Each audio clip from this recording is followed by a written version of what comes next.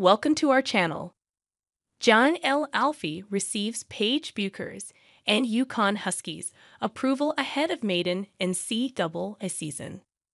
Wolfhall Aaliyah Edwards has left a big hole in the it looks like they'd got just the right fit. Well, it's the 6'5 powerhouse, Jana El Alfy, who couldn't play last year. All the way from Egypt, she is set to rock the courts, and she might also bow down in history as the first Arabic speaking woman ever to grace the WNBA. Right before the season begins, she receives the fanfare of her very own teammates. It all started with a picture she posted in her jersey on Instagram with the caption You're finally. The comments were filled. Paige started the string with Let's. Then Aubrey Griffin chimed in with a proud crown, while KK Arnold cracked us all up with. At the same time, Caroline Ducharme brought her humor with. Media Day face Neva declines, and Ice Brady doubled down on the excitement, saying, Oh yeah, I'm lit. Ashlynn Shade got playful with, and Kaitlyn Chen joked, We had so many better captions, but yes, I still love this. Even Morgan Cheli was feeling it with Jana. That's what makes this crew special. The Huskies have always had a tight knit culture, so it was definitely heartwarming but not surprising.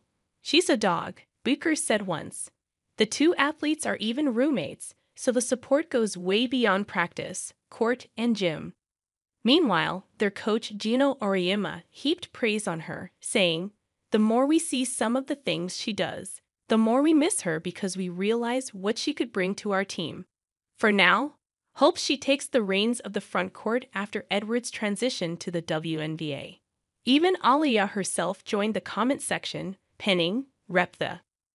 Finally, alumni Nika Mühl added, Can she step into her senior's shoes?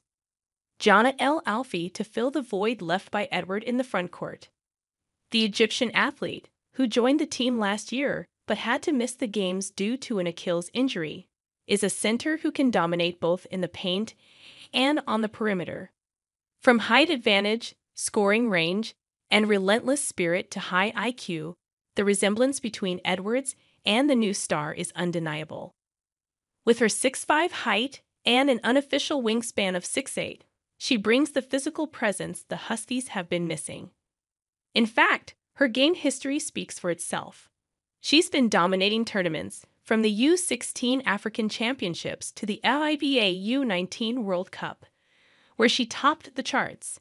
The best part is she is no stranger to the three point line, which has not been seen much since Napheesa Collier moved on. Auriemma has even mentioned on his radio show that Jana loves to play and can play anywhere at any time. At times, the team has to hold her back. She loves the contact, she loves playing like that, he shared.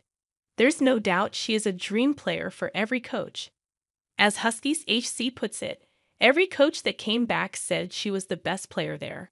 Also, it's safe to say that if she had grown up in North America, she'd have been ranked as the top recruit in her class. I can't wait for people to see her play. She just has a real unique personality that I think people are going to really fall in love with. And we totally feel the same. Let's see how her game unfolds and she becomes the next big thing in the WNBA. Thanks you for watching. Stay connected with us for more videos.